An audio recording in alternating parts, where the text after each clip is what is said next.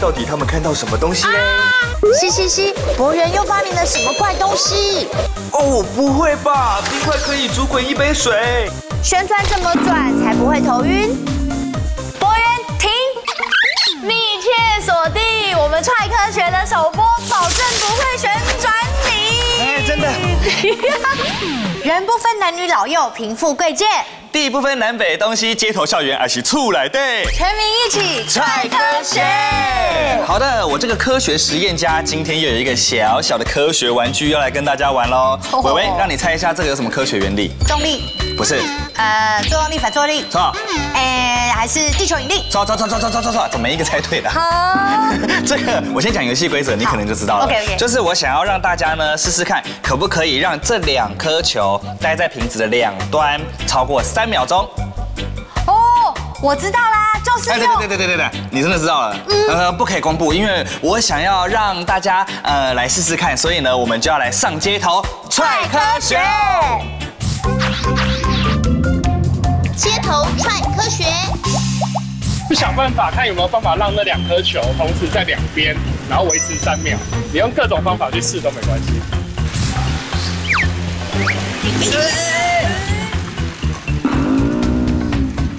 哦，你也坚持一下，三秒，三秒，转上来可以吗？这方法也是真的，那应该很难形容。Oh my god！他用摇的，是是是，好好笑哦！他也是。大家第一个想到的是这样。有没有？有没有？哎，玩到厌世。哎哎，不要，快快快快快！哎哎哎，快快快快快！不要不要。是科学，科学，知道吗？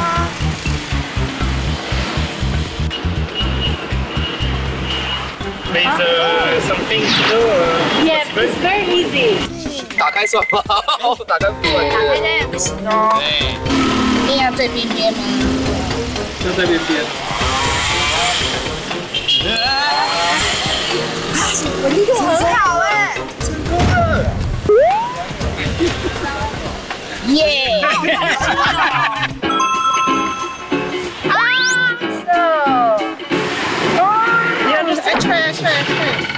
啊，疑心力，这么简单啊！傻眼，真的原来是这样子啊！哇，来来来来来，奇迹的奇迹没问题，简单啊。你看，有什么诀窍？什么诀窍？哎呀，其实就是旋转的速度只要快的话就会成功，因为离心力的关系。嗯，可以说对，也可以说不对，为什么会不对？因为离心力根本就不存在啊。啊？那如果离心力不存在的话，是什么力让这两颗球可以在瓶子的两端呢、啊？嗯，这一时半会儿也有点说不清楚啊。不然这样，我们来看一段动画，大家可能就比较知道喽。一动你就懂，离心力不存在。物体做圆周运动时，因为惯性的作用，会想沿着圆周切线方向飞走。只要向心力持续 hold 住物体，物体就会乖乖和轴心等距离绕圈。但向心力一旦消失，啊，球真的沿切线方向不回头啦。同理，旋转瓶子，球也会往切线方向移动，但受限于瓶子的形状，球只好朝远离旋转轴中心的方向跑。注意到了吗？让物体沿切线方向飞走的是物体的惯性，不是离心力哦。哈哈，所以离心力是不存在的。哦，所以说旋转中的物体会有想要远离轴心飞出去的感觉，是因为惯性，而不是离心力哦。是啊，那惯性又是什么呢？稍微帮大家小小补习一下哦。惯性呢，就是物体抗拒运动状态被改变的这个特性。就像是啊，我们在坐公车的时候，如果公车突然间刹车，然后我们会有一种哇想要往前的感觉吗？对啊，因为在搭公车的时候呢，哎，车子一直在行进嘛，所以我们就会一直习惯这个运动状态。它一刹车的时候呢，哎，我们还在行进的感觉，但是他突然刹车，我们就会这样，呃，这就是惯性的展现。惯性，所以是惯性，而不是离心力。那为什么会有离心力这个词出现啊？你手借我哦，我们来做一个小小的圆周运动啊，你要小心哦。好，预备开始。伟伟，现在呢，如果以我为轴心的话呢，我就是提供一个向心力给你。对。所以你在做圆周运动，对不对？好，那这个时候你有什么感觉？呃，因为我本身的惯性，所以会让我有一种想要飞出去的感觉。对，没有错，就是这种远离轴心要飞出去的感觉，这就是离心力这个词出现的原因哦。但是其实刚才整个运动里面只有向心力啊，不是因为离心力，是因为什么才想飞出去？我本身的惯性。没。错，那既然是这样，嗯，可是我们大家都误用了离心力这个词很久了。我觉得离心力这个词哦，听起来比较亲切好懂吧？这样说也是啦。那为了沟通方便，今天呢，我们还是借用离心力这一个词来解释生活中类似的现象哦。好诶，那离心力的这个现象会出现在我们生活当中的哪些应用啊？啊，不然这样，我们来玩一个快问快答，等一下接不下去了就算输。好，谁怕谁？好，开始。生活中离心力应用在哪里？好的，快问快答，你先。男士抢先。好，我先。来，我第一个想到的是好神拖。妈妈在家里用好神拖的时候，有没有？她这样咕啾嘎喳，咕啾嘎喳，它有一个水槽，就可以这样子，因为离心力的关系，把水给甩干。好，正确。该我。呃，脱水机啊，当湿湿的衣服啊，在高速旋转的脱水机里面呢，水就会被唰甩出去啊，好像也是正确的。第三个我想到的是 I see the rain 那个雨伞啊，当我们高速旋转雨伞的时候，水珠就会这样喷喷喷喷喷喷喷，也是因为离心力的关系。好，正确。该我哦哦，我知道，棉花糖机，又热又稠的糖浆啊，在棉花糖机里面也是因为高速旋转的关系，就会把这些。糖浆抽成丝就变棉花糖，这么厉害啊？对吧？糟糕，我刚刚想的都差不多了。还有三二水流星。水流星是什么啊？一个特技的项目，它是一条绳子，旁边绑着两个碗，然后当这个绳子高速旋转的时候呢，旁边的碗的重量的关系就会把绳子给撑直，然后这也是因为离心力啊。我有画面呢。好好，那我知道这个你正确，你正确。来来，我来我。我怕死，我讲不出来了。一分一分赢了，一分赢了。怎么会这样？我竟然输老训哦！这样，我给你一个败不复活的机会，哈，好不好？来了哦，道具。哇！来，这是一个吸尘器。等一下呢，你只要想尽办法，可以把这桌上的纸屑吸干净。不是不是不，你你要你要 你要做什么？我要吸出来啊！不是啦，我不是这个意思啦。我给你一个提示，嗯，要做圆周运动。圆周运动的话，哎，方向很正确哦。来哦来哦来哦来哦！这样子对吗？这样子吗？有没有看见？有看见？哇，好美哦！恭喜你答对了，你也得一分，谢谢博源。哦啊，你这个。是很厉害，没有错啦。对啊，我的博源牌不插电吸尘器诞生。嘿啊，可是博源，来你看一下哈，我们这边是吸的，纸屑是吸到了啦。但是你看看我后面的地上，哎，啊加马屋。你看呐，这样子纸屑掉满地，立马帮帮忙。哎呀，这是一个概念你应该要这样，在这边哈，来了，要变一个这个，你应该要这样。怎样？这样子加一个网子，这样子套起来。啊哈。这时候呢，再来动，有没有？才可以吸在里面啊，是不是？纸屑就不会飞出来了。哎，真的没有飞出来了。这样知道了吗？哎，真的好好玩哦。家事女王教你一下啦。哎哎，你你这个概念我采纳，不错不错不错不错。好，那我们就再继续来拆科学喽。伟伟踹科学，真金不怕火炼，有实力的主持人经得起科学考验。好的，这个单元呢，我跟伟伟邀请到了 IQ 超过一百四十的科学妹，她呢要来设计很多科学难题来考验我跟伟伟的交情啊，是啊，是科学实力的。哎，博源，先说好哦，等一下比赛不论输赢都不可以破坏感情哦。OK OK，请多多指教。我这个人呢，没什么得失心的，不用。哎，你得失心最重哎。不能走心哦。博元伟伟踹科学，科学妹请出题。哇，蓝色战士！大家好，今天我要来变一个魔术。好，这个魔术呢，这边有一个冰块跟一杯水，我要使用冰块呢来把水沸腾。啊？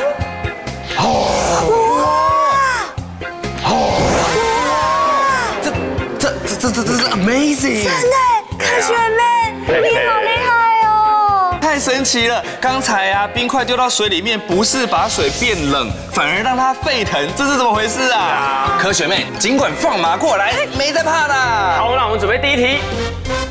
为什么一颗冰块可以把水煮沸？A. 冰块是干冰。B. 水已经达到了沸点喽。C. 冰块有玄机。三二一，请作答。好，嘿。哎，不一样。我觉得是 B 耶，因为冰块不可能把水煮沸啊，所以应该是水已经到达沸点的这个答案比较有可能。No no no no no no，我跟你说啊，根据我变魔术多年的经验啊，冰块里面肯定有玄机，它里面有可能放了一些什么道具啊，然后按一下遥控，它就让它滚。啊，真的是这样吗？别猜别猜，我们进来看一下。没有什么玄机，你看一下那个冰块啊。哎。对啊，这个真的是冰块哎，这不是干冰哎。你看吧，所以正确答案就是 C，冰块有玄机啊。里面到底藏了什么玄机呢？No No No No No，这真的是冰块，不然你看。科学妹，傻眼，真的傻眼。这真是你没事吧？你你还行吗？哎呀，所以真的是冰块哎。那正确答案不就是？真的就是冰水已经到达沸点呢？不对啊，水如果已经到达沸点的话，那它肯定会冒泡泡，然后滚起来啊。哎，但是为什么是这样？让我们看下一题喽。这个实验的现象最接近的科学原理是 A 涂沸现象，B 大气压力，C 冰块的放热反应。三二一，请作答。咦，现象。来，你说说看。因为不可能是冰块的放热反应，冰块如果放到水里面的话是吸热，不是放热。对，跟我想的是一样的。那 B 大气压力也蛮奇妙的，因为大气压力感觉在说的是气体的压力，是吗？嘿，到底答案是什么呢？让我们看影片找答案。微波炉的加热原理是利用微波让水分子产生震荡，水分子振动的越厉害，温度就越高。这种加热的方式不容易产生对流，所以当液体加热，即使到达沸点，液体表面也可能看起来风平 浪静，没有沸腾。这时如果出现外来的物质或扰动，瞬间打乱原有的平衡状态，液体便瞬间沸腾。这个现象我们称它不沸现象。哇！所以我们答对了。对，太开心了。只不过说到土沸现象啊，我就觉得好危险哦。之前我就有看到一个新闻啊，就是说有人拿清水到微波炉里面去加热，然后结果最后土沸了，是不是很危险？对。好像一杯水啊，如果已经到达了它的沸点，可是它却很平静，都没有滚动的时候，哎，这时候如果你有加一些糖啦、奶粉啦，甚至是冰块。丢下去让它扰动，它可能就会瞬间产生一个沸腾的现象，就成为土沸喽。哦，所以科学妹，如果啊我们把筷子或是汤匙来搅动，就是我们已经加热过后微波炉加热的水的话，就可能会造成土沸。嗯，没错。其他的液体也会吗？哇，好准哦！这就是我们下一题耶。哦。以下哪些液体用微波炉加热后放入外来物质，也可能产生土沸的现象？A. 红茶，B 紫菜汤，C 牛奶，三二一，请作答。好，啊啊，我来不及了，我拿了两个，两个，我觉得是 C 牛奶，这纯粹是我个人的生活经验，因为我有过用微波炉加热牛奶，然后涂沸。但是 A 跟 C，我实在是不知道哪一个是正确的。蓝色战士答案是哪一个？好，那让我们来看实验，找答案。同时将红茶、紫菜汤和牛奶微波加热达沸点温度后取出，然后各加一瓢砂糖。紫菜汤没反应，牛奶和红茶都土沸了。啊！所以哎 C 都答对了，答对了，又得一分，好厉害哦！到底为什么是这样呢？我们来看一下紫菜汤哦。好，紫菜汤里面其实有一些海带呀，还有其他的一些调味料。好，那在加热的过程当中，其实就会让它们轻轻产生一些扰动。哦，在这个过程当中，让气泡已经慢慢产生，这时候就不容易发生突沸哦。有没有什么方法可以避免突沸现象啊？哦，好，假设你是要微波一杯水的话，你可以准备一只非金属的筷筷子放在里面，这样它在加热过程当中就可能诱发一些气泡产生，避免突沸的现象。哦，但是真的要注意，呃，微波炉里面真的不能有任何金属的物质，所以要非金属的一个汤匙或者是筷子。没错，金属不能微波哦。啊，说到突沸现象，真的是蛮危险的，所以。今天学到了这些呢，就可以让我们跟突沸现象说拜拜。拜拜，太棒了。那蓝色战士，我们今天的这个科学检定的分数应该出来了吧？对呀，微微两分。耶！那万博远也是两分。耶！科学妹，我刚刚最后那一题有答对一半呢，算半分吧。对耶。好啦，那伟伟多加零点五分，变二点五分。这样塞奶也可以。阿输了会怎么样？嘿嘿，我有一个惊喜。哦，那我们来抽一支签吧。好，抽签是不是？嗯。噔噔噔噔噔噔，这次。OK。好。哇，想成为强者，请跟着林老师一起动词动，举哑铃跳舞一分钟。好好这不是惊喜，这是处罚。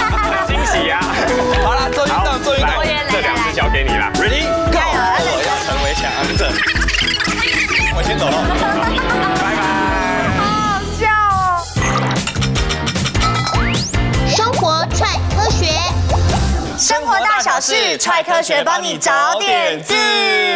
各位同学，各位朋友，想不想让你们的日常变得更有创意，做事更有效率啊？是的，只要将任何你的科学疑难杂症啊，在我们的踹科学的粉丝团留言来投稿，告诉我们，就会请科学妹精选问题来回答你们哦。那今天我们又要来回答什么问题呢？为什么原地转圈头会晕，站不稳？该怎么练可以转不晕？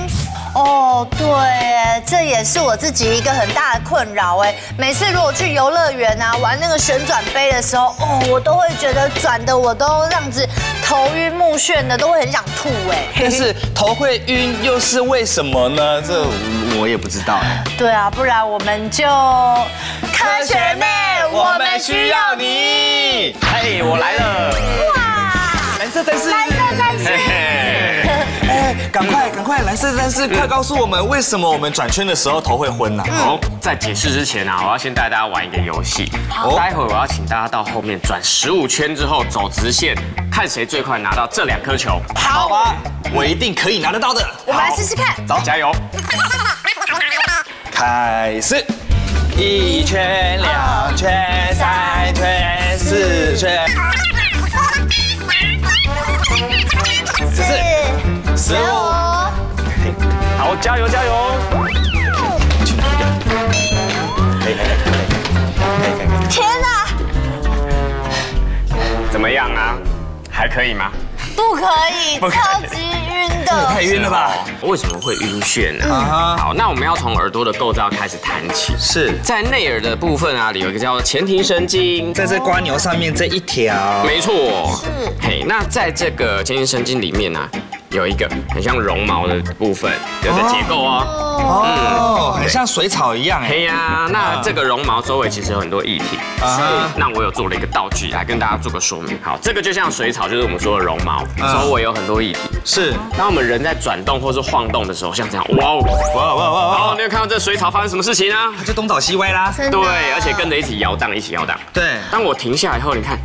它还一直在晃，一直在晃，对，慢慢会回来这样子。对，慢慢会回来。那我们人的神经啊，其实就接在这个绒毛的下方。嗯，所以当我们感觉到不晕的时候呢，除非这个绒毛开始恢复直立的时候，你才会觉得不晕眩。那如果说我们还是想要试着旋转，但不会晕，这个有办法练习吗？可以哦，跟大家分享一个小技巧。哦，这时候其实你只要眼睛盯着远方，一直看着哦。当你身体转动的时候，忽然很快速吸回来。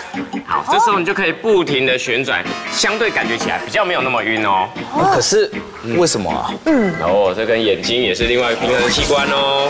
哦，那博远，既然是这样的话，还是我们再来试试看。OK 啊，反正我现在水草已经恢复原状了。一样十五圈吗？十五圈，十五圈。好，掌握技巧了吗？对，没有问题。Ready go，头留着，身体转，头回来，一、二、三、四。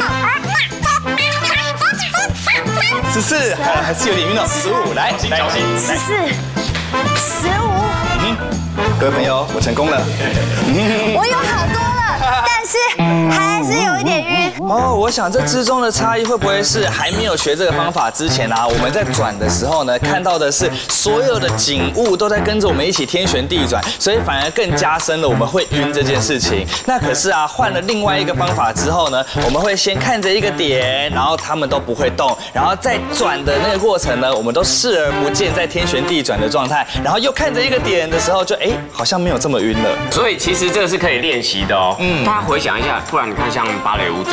或者是有一些溜冰选手，他可以在原地一直转圈圈，对对对对，转个几十圈都不会晕。回想一下，他们的动作是不是跟我们刚刚很类似？哦，所以这是可以靠练习的喽。对呀。哇，哎，那个学妹，我还想知道哦，如果我们去游乐园啊玩旋转杯的时候。到底我们的视线应该要看哪一个地方，在结束的时候才不会这样天旋地转啊？这个啊，依照我过去的经验，我有一个小方法，嗯，就是你可以盯着一个不会动的地方来看哦。例如说，哎，像我们咖啡杯抓着那个扶手，你就盯着那扶手，它不会一直转圈圈。哦，真的吗？对，你就直接去试试看，看看这方法有没有用，好不好？好，那我就来试试看吧。好，那我走喽，拜拜。我在现场找了一位朋友来陪我，那你 OK 吗？好，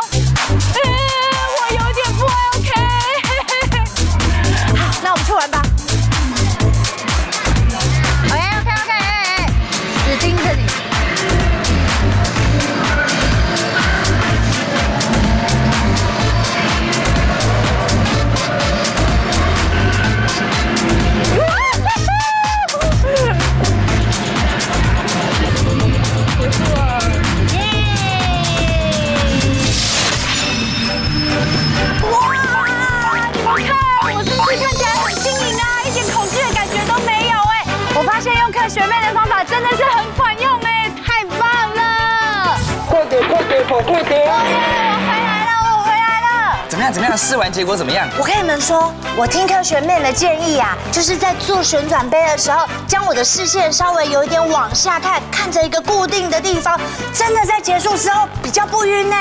哦，原来这样子真的有帮助哎！希望有回答到问我们问题的这个朋友哦。那这样子，我们现在都是旋转达人，那我们就边旋转边跟大家说再见，好不好？哦，好啊。Ready go，拜拜，拜拜。物体做圆周运动时，因为惯性的作用，会想沿着圆周切线方向飞走。只要向心力持续 hold 住物体，物体就会乖乖和轴心等距离绕圈。但向心力一旦消失，啊，球真的沿切线方向不回头啦。同理，旋转瓶子，球也会往切线方向移动，但受限于瓶子的形状，球只好朝远离旋转轴中心的方向跑。注意到了吗？让物体沿切线方向飞走的是物体的惯性，不是离心力哦。哈哈所以离心力是不存在的。